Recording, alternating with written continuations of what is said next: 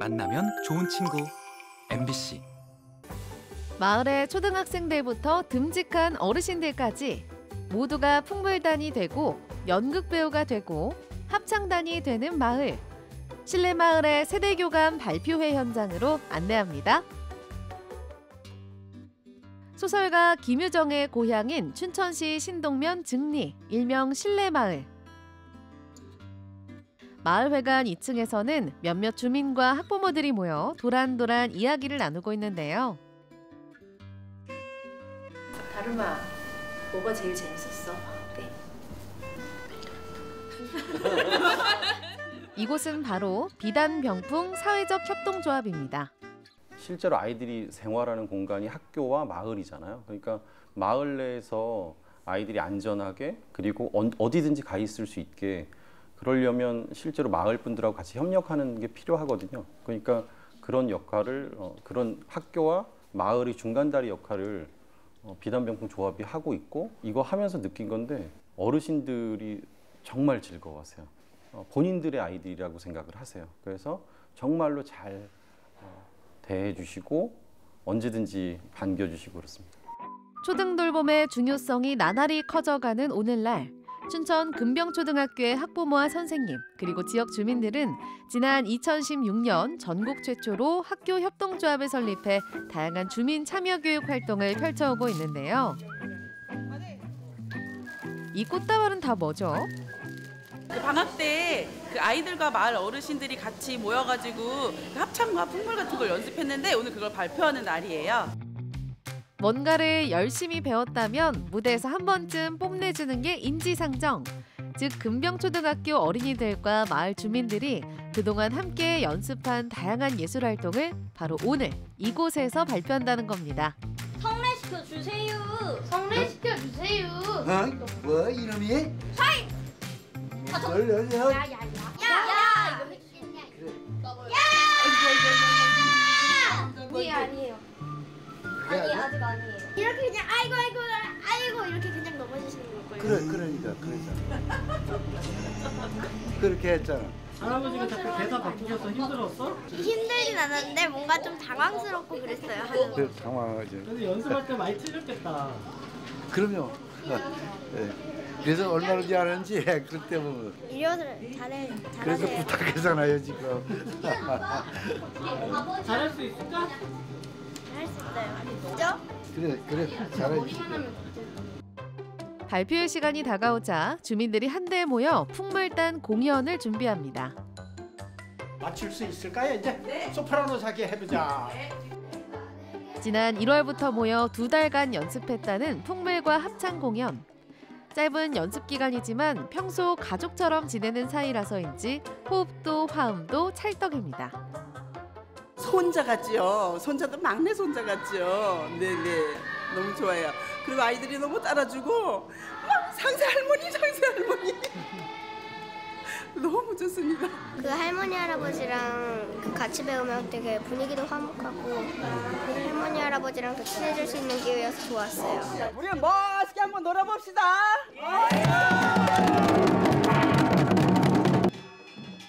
마을 발표회를 알리는 힘찬 길놀이가 시작됐습니다. 한적한 실내 마을이 모처럼 잔치 분위기로 들썩이는데요. 어른들이 풍악을 울리며 앞장서면 아이들이 소고를 들고 어깨춤을 추며 그 뒤를 따르는 그야말로 세대 대통합의 현장. 거리의 관객들도 덩달아 흥이 오릅니다.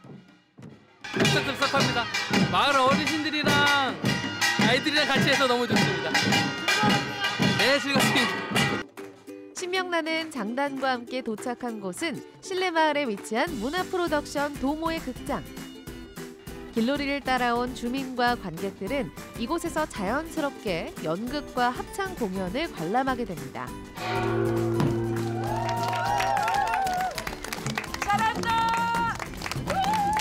신나서 좋아 재밌습니다. 오랜만에 우리 어린 학생들하고 할머니 같은 사람들과 같이 해가지고 너무 너무 행복하고 좋았습니다. 도농 간 문화 격차 해소를 위해 극단 도모의 전문 연극인들이 지역 주민들을 대상으로 진행한 연극 수업. 그렇게 완성된 작품명은 바로 실내마을 러브스토리.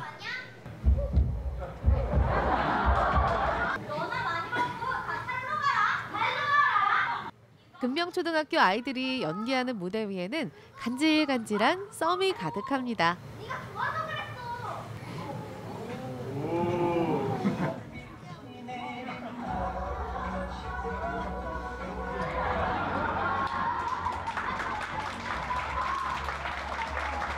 드디어 봉필 영감과의 결투 장면. 과연 이번엔 실수 없이 잘할 수 있을까요? 오, 객석 호응도 좋습니다. 이렇게 연극 공연도 대성공. 실내 마을 주민들이 직접 연기한 김유정의 소설이라 더욱 뜻깊은 무대네요. 우리 친구들 다들 잘했어요. 마지막 순서는 학생, 학부모, 주민들 모두가 참여하는 합창 공연입니다.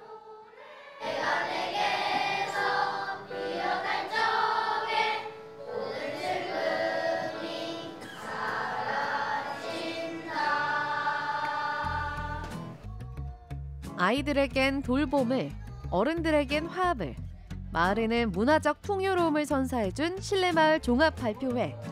마을이 마치 하나의 대가족처럼 느껴집니다. 목소리 안 나오고 막 목소리 떨리면 어떡하지 했는데 애들도 같이 했어가지고 좀 재밌고 재밌 때안 춤출 때 코로나를 좀 빨리 했어요.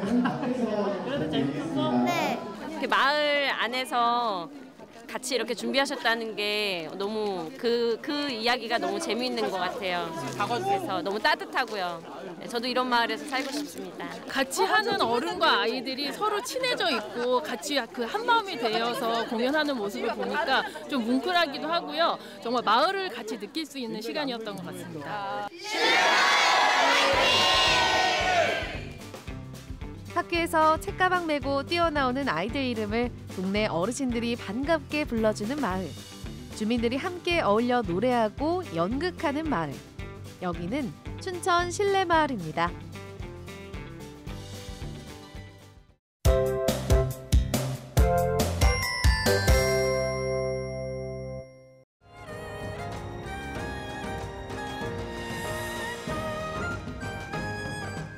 첫 보름이자 일년 동사의 풍년과 사람들의 안녕을 기원하는 날 정월 대보름.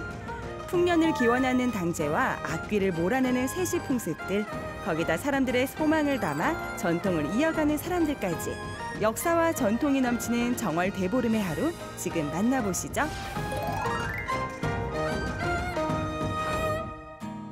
안동의 전통 문화를 살펴보기 위해 빠질 수 없는 곳 하회마을. 정월 대보름을 맞아 이른 아침부터 아주 분주해 보이는데요. 다들 뭐 하러 온 거예요? 하회마을에 그 1년 동안에 그 주민들의 행복과 마을의 재난이 없기를 바라는 그런 뜻에서 동제를 지낸다고 해서 한번 와봤습니다. 방제가 지금 거의 지금 진행된 데 별로 없잖아요. 이런 전통이 살아있는 거 어떻게 진행되는지 또 어떻게 차려지는지 이와 같은 것을 좀 알고 싶어서 왔습니다. 하회 마을에서 당제가 열린다? 어디 어디? 우리도 구경 좀 해볼까요?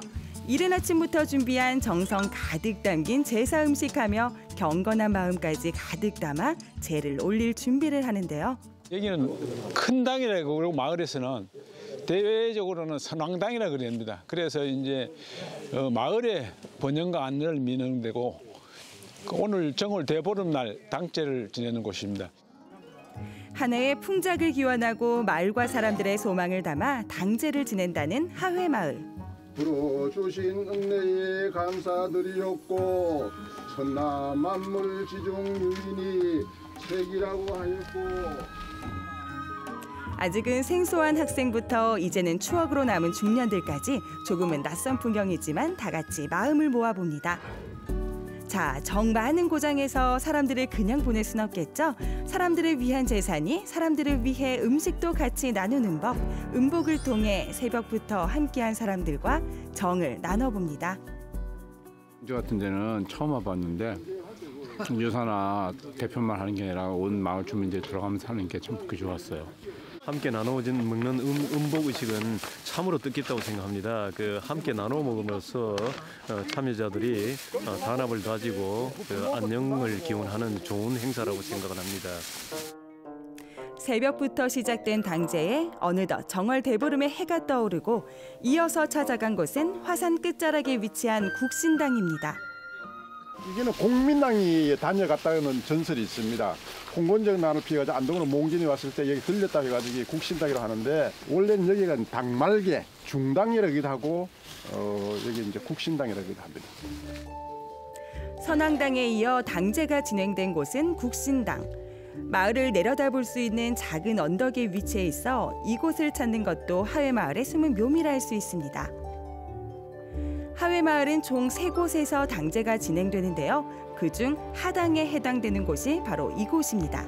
수령 600년이 넘는 느티나무가 마을 한가운데 자리 잡고 있어 그 풍채만큼 마을을 든든하게 지탱해 주는 것 같죠? 동제는 정월 대보름에 우리는 그 설을 치고 나서 달이 최고 밝은 정월 대보름 날 이 마을의 안녕과 평화를 위해서 예, 드리는 동제입니다. 동제를 800년 동안 이렇게 이 마을을 지켜오면서 잘 지내오고 있습니다. 역사와 전통을 소중히 간직해온 하회마을. 마을 사람들의 이런 노력 덕분에 한국을 대표하는 마을이 될 수 있었는데요. 지금은 세계가 그 가치를 인정하는 곳이 됐습니다. 요즘 시대에 이렇게 어, 고택을 유지하고 있는 그게 정말 인상적이었고요.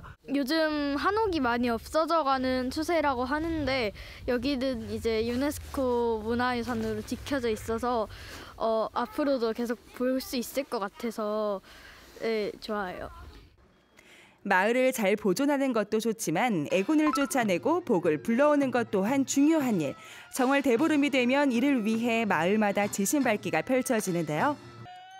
하회 마을에서 하는 지신밟기는 마을을 도는 사물 놀이패뿐만 아니라 하회 별신구 탈놀이도 같이 진행됩니다. 평소에는 말을 함부로 할 수 없을 때 서로를 때려잡고 그 양기가 좋다는 것을 함부로 이야기를 할 수 있는 것을 양반들이 듣고 그거를 보고 반성을 하는 기회가 바로 백장마당이었습니다. 이 나쁜 기운을 물리치고 좋은 기운을 받- 받는 데에서 이 주지마당과 백장마당이 함께 어우러져 하는 것입니다.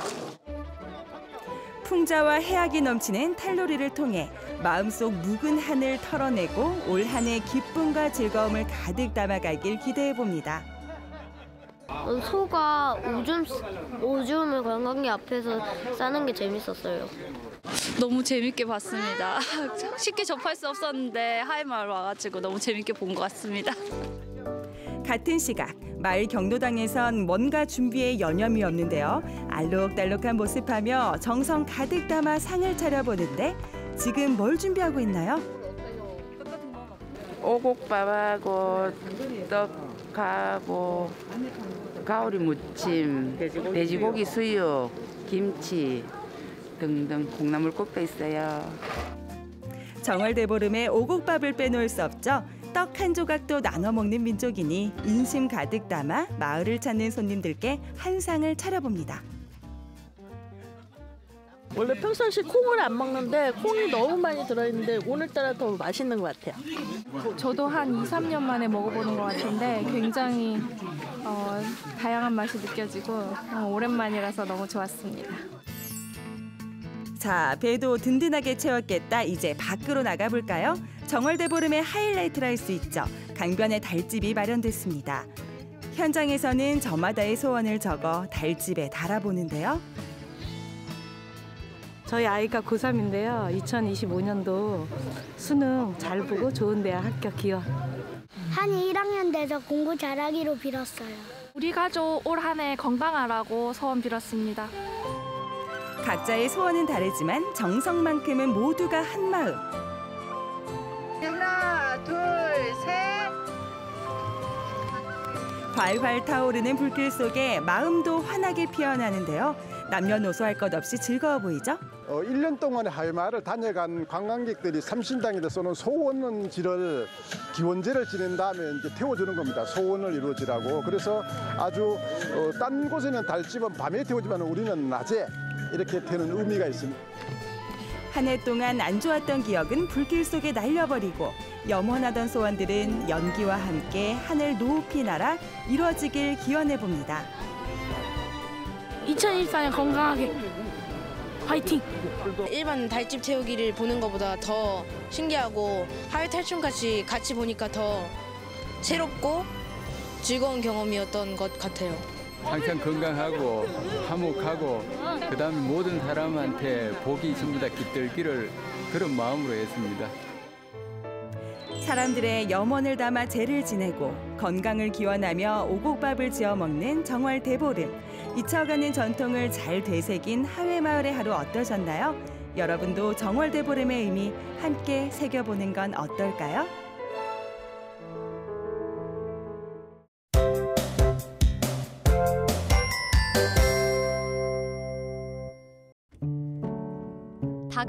봄. 겨울 동안 집에만 있어서 몸이 뭉쳐있진 않으신가요? 피곤하고 늘어져 있던 몸과 마음을 힐링시켜줄 완도 해양치유센터로 여러분을 초대합니다.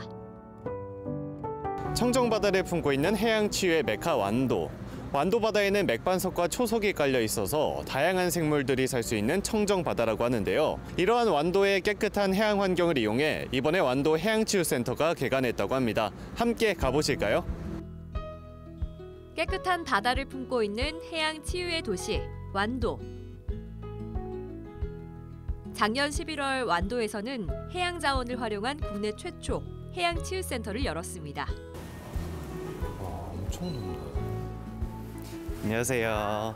저 여기 처음 와서 그런데 어떻게 이용하면 되나요? 네, 저희 해양치유센터는 현재 1층만 이용하시는 basic 프로그램과 1, 2층 이용하시는 프리미엄 프로그램 두 가지를 운영하고 있습니다. basic 프로그램은 다섯 개 therapy를 이용하시는 거고요. 이제 2층은 좀 전문 테라피스트들이 신층 케어를 해드리는 전문 테라피 공간입니다. 그래서 1, 2층에 이용하시는 프리미엄 프로그램입니다. 오늘 다운 아나운서는 특별히 프리미엄 프로그램을 선택했습니다. 선생님 안녕하세요. 네, 저희가 이제 건강 측정실이라고 해가지고 들어왔는데 혹시 건강 측정실이 어떤 곳인가요?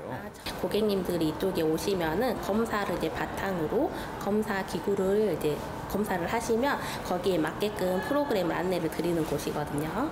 어, 혹시 프로그램이나 뭐 검사의 네. 종류는 몇 가지가 아, 있을까요? 저희가 이제 여섯 가지 관리 프로그램이 있으세요. 그래서 뭐 디톡스 프로그램, 스트레스 관리, 뭐 대사증후군 관리, 소중재활 관리, 그리고 이제 근골격계 관리 이렇게 여섯 가지가 있으시거든요. 이제 거기에 맞게끔 안내를 드리고 있습니다. 건강 상태를 확인할 수 있는 다양한 기구들이 준비되어 있는데요. 전문적인 기구와 상담을 통해 나에게 맞는 테라피를 선택할 수 있습니다. 전체적인 건 괜찮으신데 이런 체지방률들이 조금 올라가 계신 거 한번 봐주시면 좋으실 것 같아요. 네. 그리고 이제 전체적인 이제 근육량 같은 거는 전반적으로 다 좋으시거든요. 목이나 어깨 균형을 확인하는 검사도 받을 수 있는데요. 내 몸의 양쪽 비율이 잘 맞는지, 골반은 틀어지지 않았는지를 볼 수 있습니다. 이렇게 딱 이렇게 선들이 있으시잖아요. 네. 여기를 이제 기준으로 이렇게 보시는 거예요. 그래서 다 영도씨가 이렇게 돼 있어야지 자세도 딱 곱고 좋으신 거라고 나오시는 건데 어, 평소에 그 자세가 안 좋으신 네. 시청자분들도 여기 와서 측정해 보시고 정확한 관리 또 받아보시는 게 좋을 것 같습니다. 네. 다운 아나운서가 첫 번째로 찾은 곳은 바로 소리 테라피실인데요. 싱잉볼에서 나오는 음파와 진동을 통해 소리로 힐링을 할 수 있습니다. 왠지 잠이 솔솔 올 것 같지 않나요?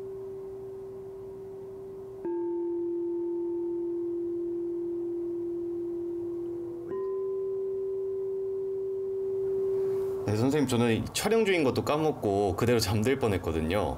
이 어, 테라피가 스트레스가 풀리거나 뭐 이런 효능들이 또 있을까요? 아, 네, 그럼요. 싱잉볼 같은 경우에는 어, 연주를 함으로써 약간 뇌파를 자극을 하고 그리고 스트레스 안, 좀 안 완화와 그리고 수면 장애에도 굉장히 도움이 됩니다.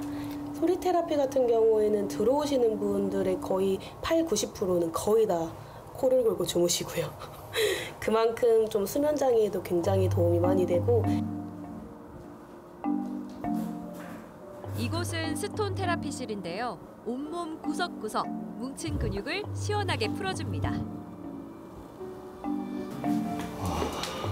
진짜 맨날 앉아서 일하고 오래 일하다 보니까 몸이 너무 찌뿌둥했었는데 그게 보통 마사지로는 풀리지가 않았었거든요. 근데 또 이렇게 stone therapy를 받아보니까 이렇게 또 좋을 수가 없습니다. 온몸이 날아갈 것 같이 너무 가벼운데 여러분도 꼭 한번 와보셔서 한번 받아보시는 걸 저는 정말 강추 추천합니다. 마사지를 통해 몸의 피로를 풀어줬으니 이제 몸 안에 숨어 있는 독소도 배출해 볼까요? 저희 해조류 mud wrapping therapy실은요 완도 노화도에서 채취한 mud를 가지고 저희 비파 앰플 섞어서 만들었어요 효능으로는 통증 완화랑 cellulite 제거, 부종 감소, 독소 배출 등이 있습니다 100% 완도산 재료를 넣어 만든 천연 mud wrap. 따뜻한 mud pack을 듬뿍 떠서 다리부터 온몸에 발라줍니다. 그 다음 랩으로 덮어 열을 보호해 주는데요. wrapping 해드리겠습니다 온몸을 다 덮는 건가요? 네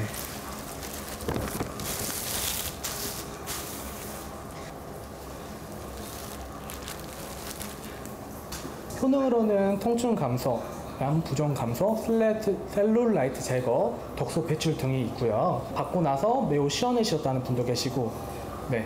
그 다음에 통증 같은 것도 많이 사라지셨다는 분도 많이 계셨습니다. mud는 우리 모공 속 노폐물을 흡착해 배출해주는 역할을 하는데요.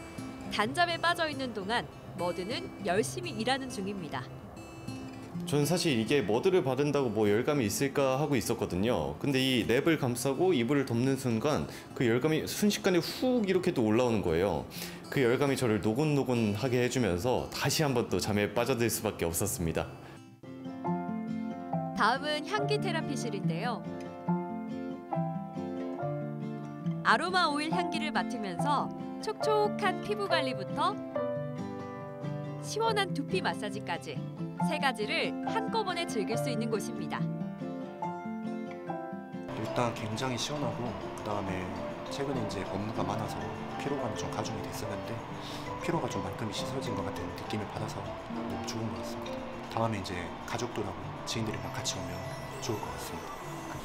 1층으로 내려온 다운 아나운서. 해양치유센터에서 가장 인기 있는 곳이라고 하는데요. 바로 남녀노소가 함께 어울려 즐길 수 있는 특별한 곳입니다. 이거는 또 처음 와보는데 아, 네. 딸라소풀이라고 들었어요. 네. 딸라소풀의 뜻이 뭔가요 혹시? 그 달라소풀은 조금 생소하지만 달라소라는 말이 그리스어로 바다라는 뜻이에요. 그래서 바다에 있는 풀장이니까 우리가 달라소풀이라고 하고 알기 쉽게 해수풀이라고 생각하시면 어. 되세요. 노약자분이 들어오시면 걷기 위주의 수중 운동을 하고요. 조금 젊은 층이다 싶으시면 저희가 구력 도구들을 가지고 근력 운동 위주로 수중 운동을 진행을 해요. 수중 운동은 물의 저항을 이용해 관절 부담은 줄이고 운동 효과는 높일 수 있어 최근 떠오르고 있는 운동인데요. 쉽지 않아 보이죠? 덤벨이 물속으로 쭉, 둘, 여덟, 열. 덤벨이 물속에 계속 있어야 돼요. 물속에 올 때도 물속, 물속. 이게 뜨면 의미가 없어요. 선생님 많이 저랑 같이 이제 수중 운동을 하셨잖아요. 네네. 수중 운동 해보시니까 어떠세요? 아, 생각보다 힘들고 땀이 짧은 시간인데 땀이 금방 나는 것 같아요. 육상 운동보다 어, 몇배 더 힘들고 지금 얼굴에 나신 게다 땀이죠, 물이 아니라? 물반 땀반입니다. 아, 물반 땀반이요? 네. 집에 가면은 그냥 똑 떨어질 것 같아요. 꿀잠을 잘 수 있을 것 같아요. 이대로 집에 가긴 아쉽죠. 완도에서만 즐길 수 있는 해조류 거품 목욕이 기다리고 있는데요.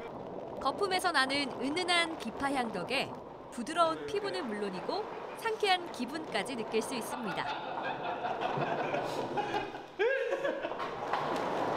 톡, 미역, 미역기, 그다음에 다시마 원액을 추출하여 이북주와 포함해서 화학성분 전혀 없으시고요. 남녀노소 아이들도 다 좋아할 수 있게 하는 해조류 거품이라 생각하시면 되세요. 저희가 주말 같은 경우는 이제 어머니나 아버지들 나이 드신 분들도 많이 오셔가지고 보고 싶다고 옛날로 돌아가는 느낌이라고 말씀 많이 하시거든요.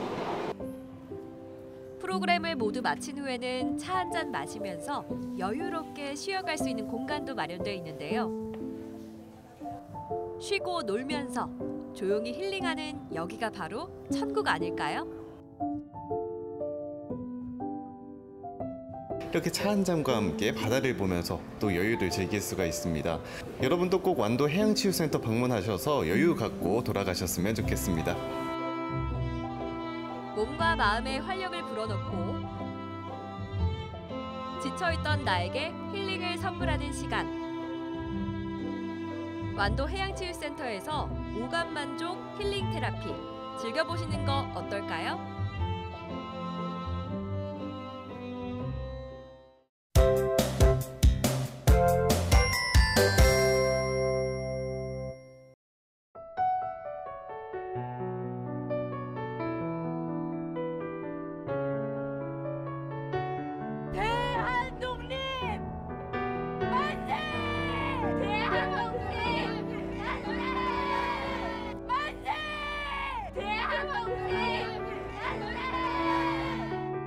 어린 학생의 신분으로 일제에 당당히 맞섰던 영웅들, 학생 독립운동가. 그 그리운 얼굴이 100년의 시간을 넘어 되살아납니다.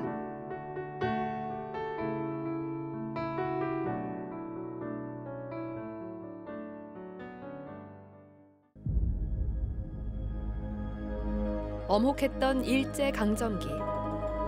일제에 부단히 저항했던 그 물결 속에 어린 학생들도 있었습니다. 제주 지역에서도 초중고에 걸쳐 다양한 항일 운동이 펼쳐졌는데요. 독립만세를 뜨겁게 외치고 강압적인 황민화 교육에 반대하거나 동맹 휴학을 하고 일본인 교사 퇴출을 요구하기도 했습니다. 일제강점기 동안 제주도의 학생들은 항일 운동에 많이 참여들을 했었거든요.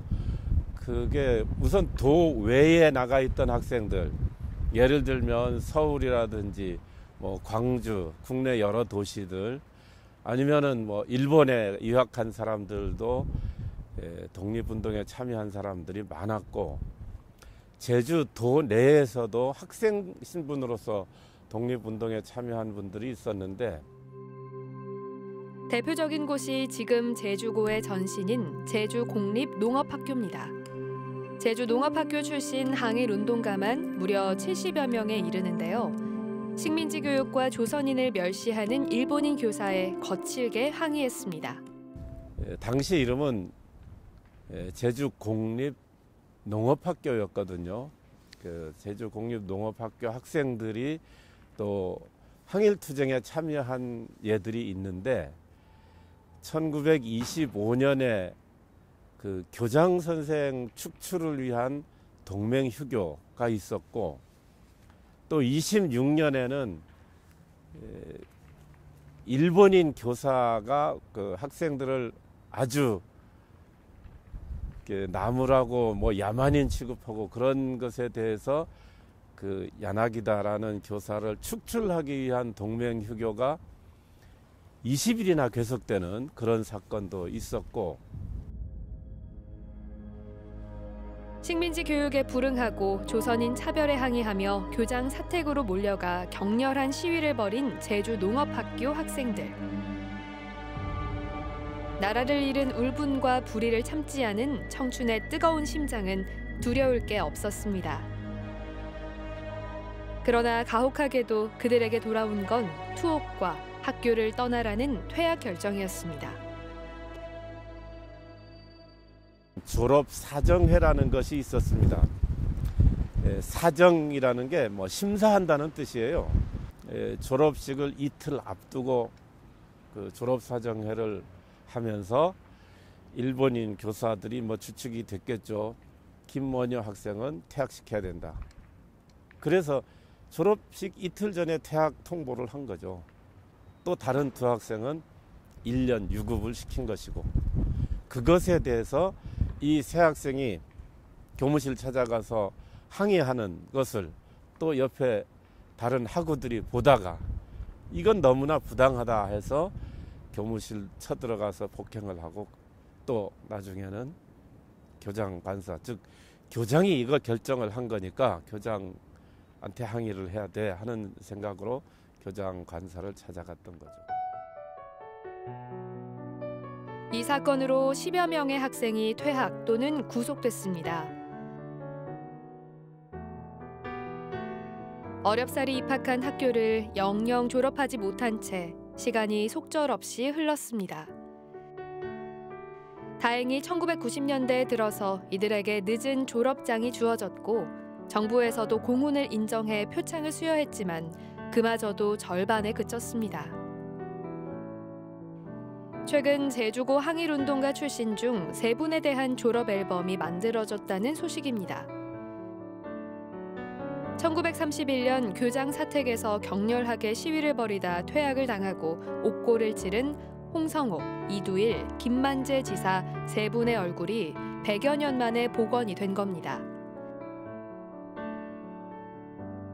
푸른 10대의 얼굴로 되살아난 모습이 감동적입니다. 뒤늦게나마 이러한 졸업장을 받게 돼서 정말 에, 기쁠 것 같고 이것들이 후세에 에, 후배들에게 많이 전해져서 어, 좋은 본보기가 되었으면 할 거라고 생각합니다. 보훈부와 한 대기업이 함께 만든 세상에서 가장 늦은 졸업 앨범. 공훈록에 사진이 남아있는 학생 독립운동가 94분의 얼굴이 복원됐는데요. 최첨단 AI deep learning과 de-aging 기술을 이용해 앳된 학창 시절의 사진을 구현해냈습니다. 제주에서는 사진이 남아있는 세 분의 사진이 이번 앨범에 함께 수록됐습니다.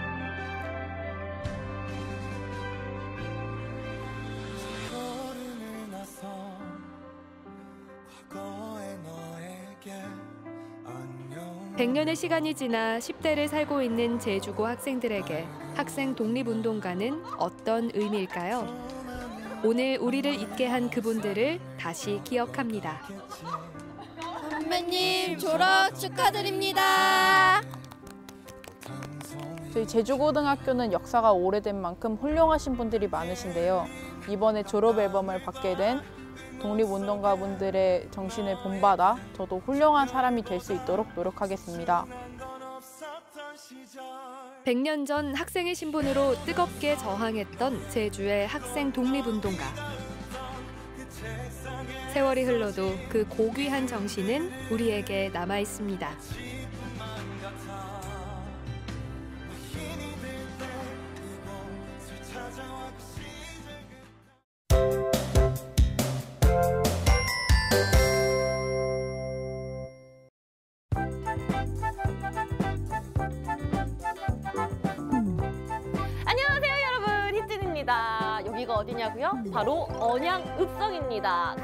둘러보세요. 이 굉장히 뭔가 품격 있고 저도 엘레강스해지는 것 같은데 여기 딱 뒤돌아보시면 크, 또 언양은 불고기 불고기. 아 연기 팔팍. 맛있겠어. 그리고 또 앞에는 미나리 미나리. 또 저기 보면 또 영남 알프스. 눈도 안 녹았어요. 크, 이렇게 언양에 오면 볼거리가 너무 많은데 또 바다 한상도 있다고 해요. 아, 근데 아무리 둘러봐도 바다는 없어 보이지 않아요? 바다야, 바다야, 바다야 어딨니?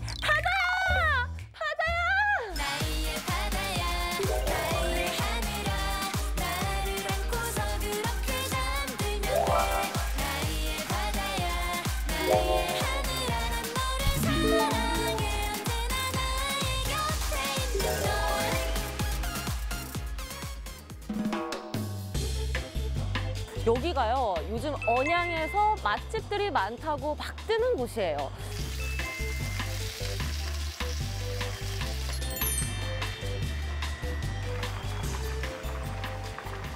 와 지금 이게 다 생선 구이예요? 예, 그렇습니다. 엄청 탑이 쌓여 있는데 생선으로 이게 다 오늘 팔리는 양이 많아요 이게? 점심 장사 때 나가는 거고 오후에 또 break time 지나고 나면 다시 또 준비해서 이만큼 또 준비를 해야 됩니다. 근데 지금 이렇게 보니까 살짝 구워져 있는 상태 같아요. 사장님이 미리 다 구워 놓으신 거예요? 이게 초벌을 안 하면 손님들이 오래 기다리셔야 돼요. 완전하게 익히는 건 아니고 약간 고기마다 다르지만 약간 30%에서 50% 정도만 익혀 놓고 너무 많이 익으면 또 말라버리거든요. 초벌하면 더 맛있겠다. 간을 할 때는 뭔가 특별한 게 있어요? 보통 다듬어서 소금을 치는 방법을 쓰고 있는데 소금을 치게 되면 뭐 일부는 짜가지고 짜지고 어떤 건 또 싱거워지거든요. 저희는 소금을 물에 녹여서 예, 그다음 염도를 맞춰서 거기에서 담궈서 골고루 이제 염이 될 수 있도록 뒤에 불판도 막 여러 개가 있어요.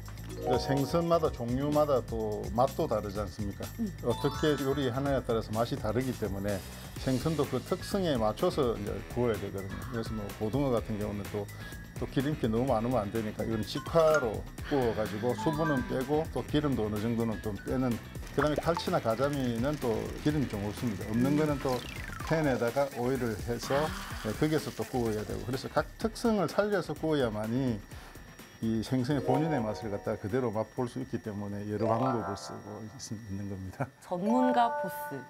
뭔가 이 수산물의 전문가 느낌이 나는데 수산물에 종사한 지가 벌써 한 거의 한 15년 이상 됐습니다. 되고 수산물 가공 공장도 하고 또 이런 생선을 가공해서 수출을 하고 아니 여기만 딱 보면 뭔가 마트에 온 것 같은 기분이 드는데요. 저기 제철 메뉴도 있어요? 그 제철 메뉴도 있죠. 철마다 먹을 수 있는 봄이면은 또 봄도다리, 예, 도다리 쑥국이 있고 여름이면은 제주도에서 공수한 자리돔 물회 아. 예, 그런 게 있고 겨울철이 이제 들어서면은 대구탕, 그다음에 물메기탕 예, 이런 식으로 계절마다 그 지방에 가서 먹어야 될 거를 여기에서 드실 수 있게끔 예, 그렇게 메뉴를 짰습니다. 제 요리법은 되게 간단해요. 딱 원초적인 맛 그대로. 이것도 마찬가지로 고기의 본인의 맛. 네, 그게 중요하니까. 멋있는 게 자부심이 있어야죠. 내가 하는 것만큼은 좀 잘 해야 되지 않겠나.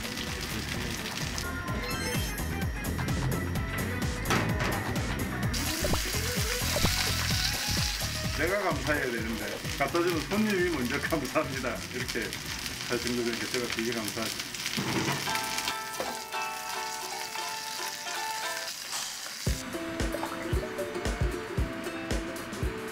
아니 근데 주방을 보다가 신기한 걸 발견했어요. 보통 주방에는 이런 CCTV가 없지 않아요? 감시용이 아니고 네, 적은 인원으로서 많은 일을 하기 위해서 제가 이걸 보고 전체적으로 어떻게 뭐 손님이 대기를 하고 있다 들어온다 이런 것을 이제 전달을 합니다. 이런 식으로 함으로 해가지고 그 인원을 조금 줄일 수 있는.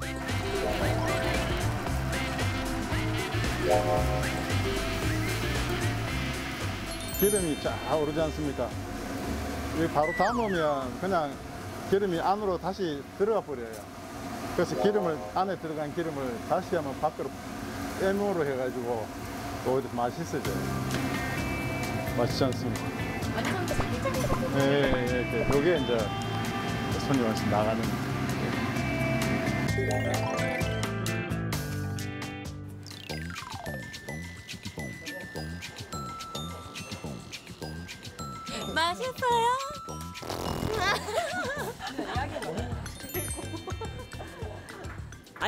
잘 먹는 것 같아요. 아, 네, 너무 담백하고 아이가 평소에 생선을 좋아하는데 오늘 한 입 먹더니 너무 맛있다고 엄마가 해주고 너무 맛있다고 아. 얘기를 하더라고요. 애들은 거짓말 안 하잖아요. 그렇죠. 어, 집에서 먹는 것만큼 정말 맛있고요. 아까 와이프가 그랬는데 집에서 먹는 것만큼 집밥이 느껴지는 맛이었습니다. 네. 어, 그러면 사모님이 해주신 구이, 이 여기에 고기 대단. 여기까지 좀 맞고 생선구이를 맛있게 다 드셨네요. 저희 고향이 충무니까 통영이니까 제가 네, 한 번씩 생선 일주일에 한 번씩 먹으려고 그래요. 다른 집에는 전기로 이렇게 하는데 저희 이 집은 어, 불로 이렇게 하더라고요. 무슨 불로 해가지고 이거 맛이 있어요. 저 맛있는 거 먹고 또 집에 가서 또 먹고. 아 포장까지. 어, 어머. 어.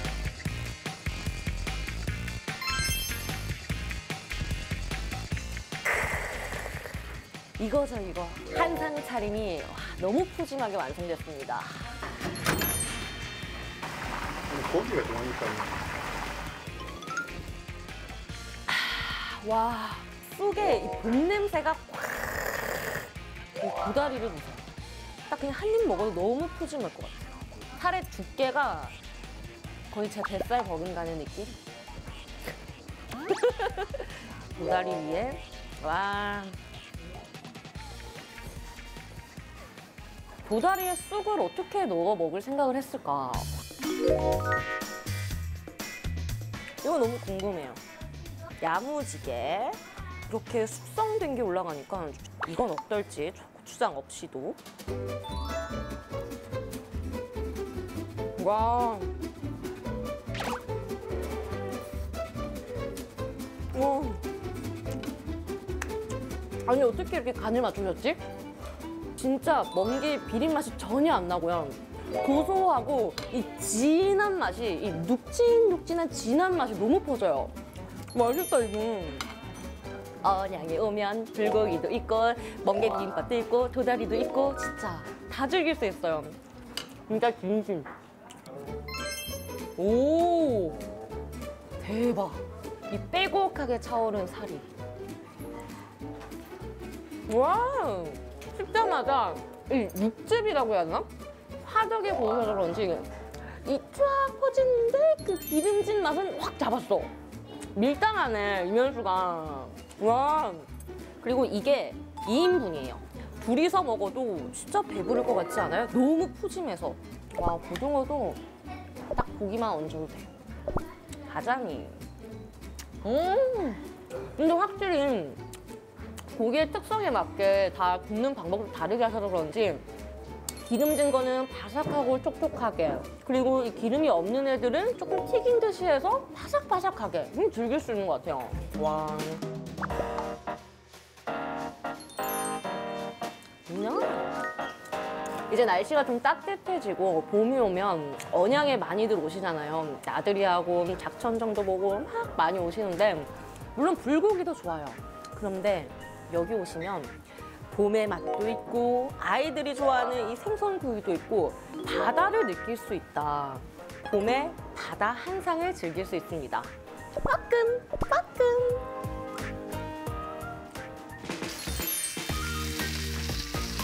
제 요리법은 되게 간단해요. 이것도 마찬가지로 고기의 본연의 맛. 그게 중요하니까. 저희는 소금을 물에 녹였어. 기름이 쫙 오르지 않습니까?